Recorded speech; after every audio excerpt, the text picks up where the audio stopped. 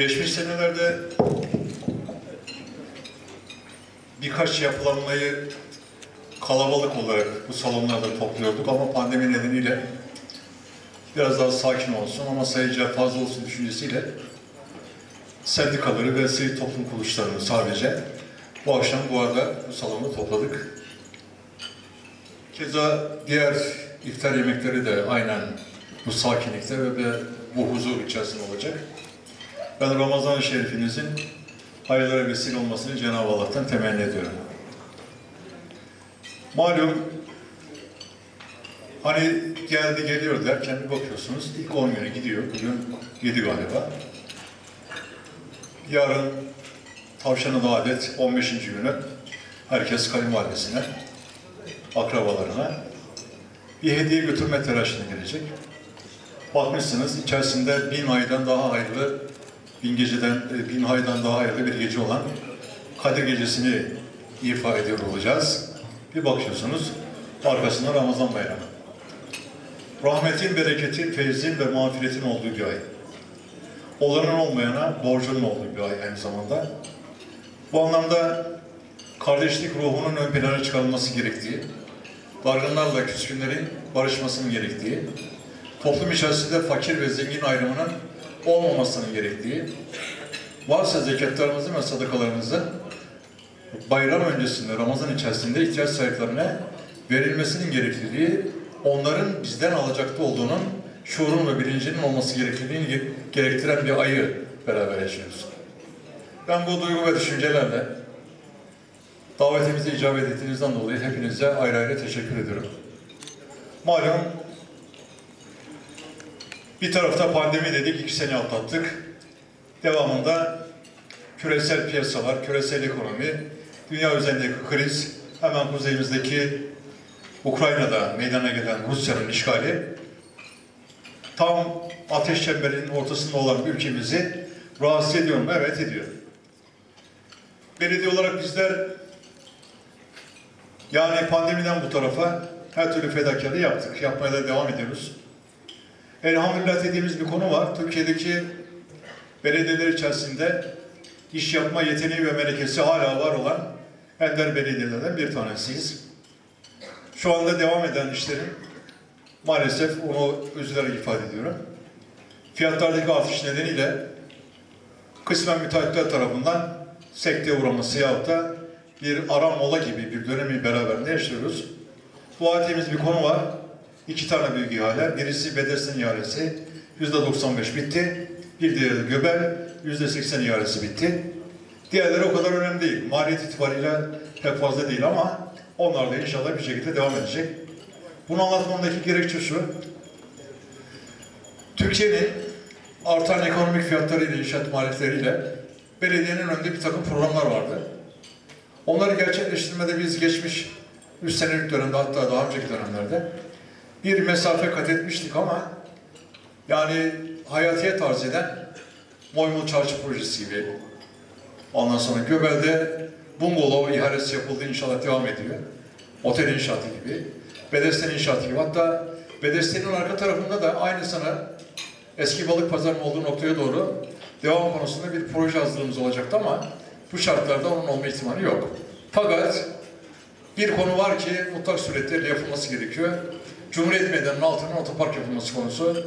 Bu anlamda da inşallah proje çalışmalarına başladık. Yani orası toplamda 3 Eylül Parkı'nı saymazsak 59 bin metrekarelik bir alanı kapsıyor.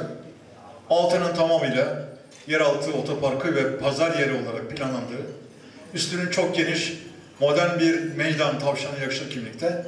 Onun inşallah bu sene içerisinde projesini bitireceğiz.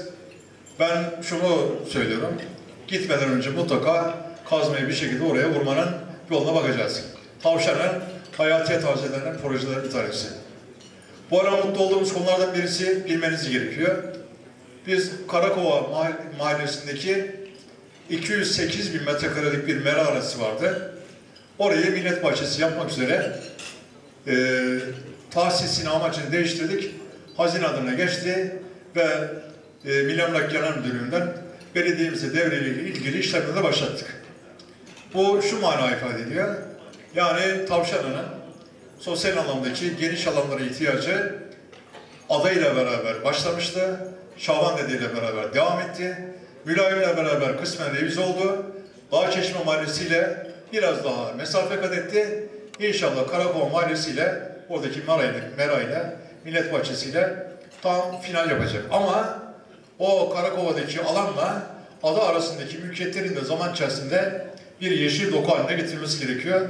Bunun da hazırlığını inşallah hem kamulaştırma hem de planlama noktasında yapmaya devam edeceğiz. Şimdi esnafımız konusu var.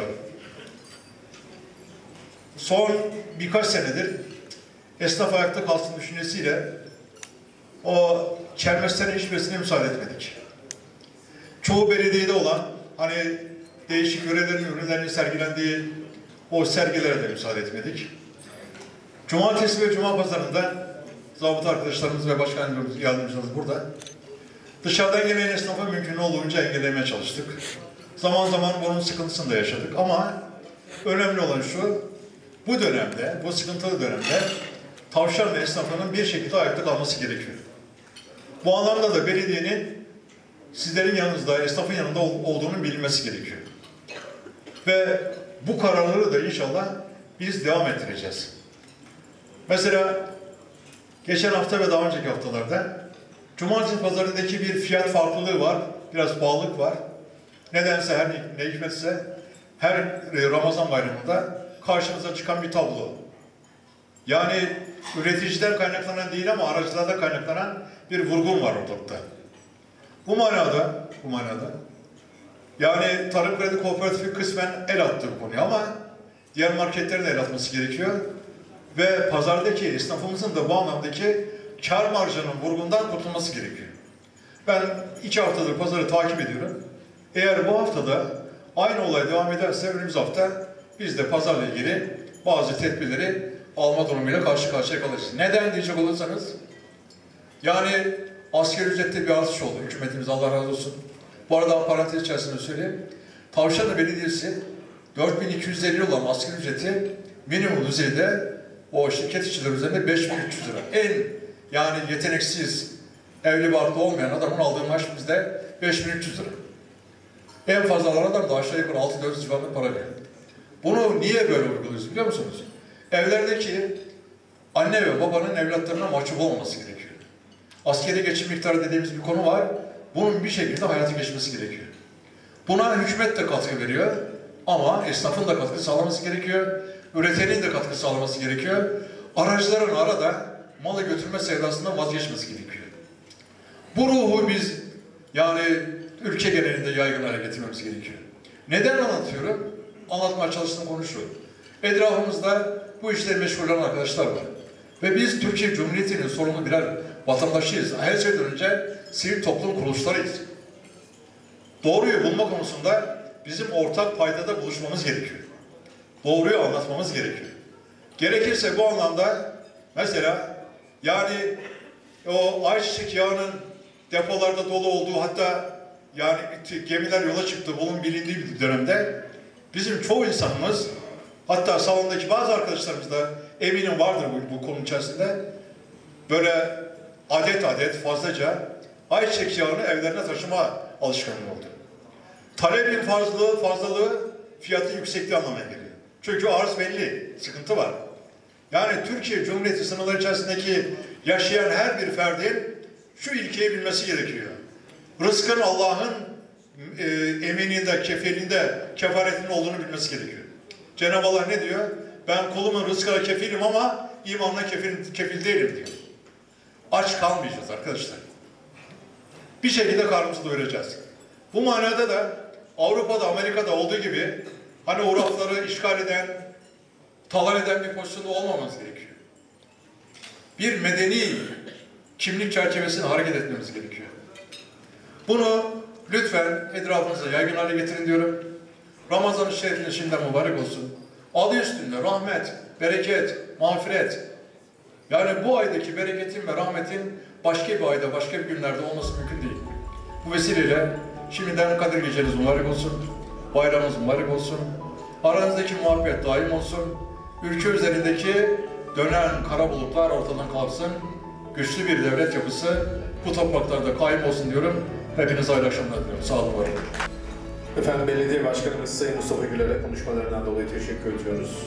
Hepinize katılımınız için teşekkür ederiz. Huzurlu, bereketli bir Ramazan diliyoruz efendim. Sağ olun, var olun.